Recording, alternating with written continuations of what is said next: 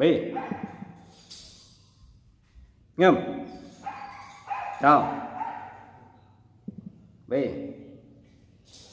Rồi chúng ta khởi động và chúng ta tập buổi tập thứ ba. Côn nhị khúc cho người mới học. Khởi động sơ qua tập côn thì không cần khởi động kỹ lắm. Chúng ta thì khởi động sơ qua. Rồi chúng ta sẽ tập. Nói chung là chúng ta cứ khởi động từ trên xuống dưới cổ này cổ tay này cổ này.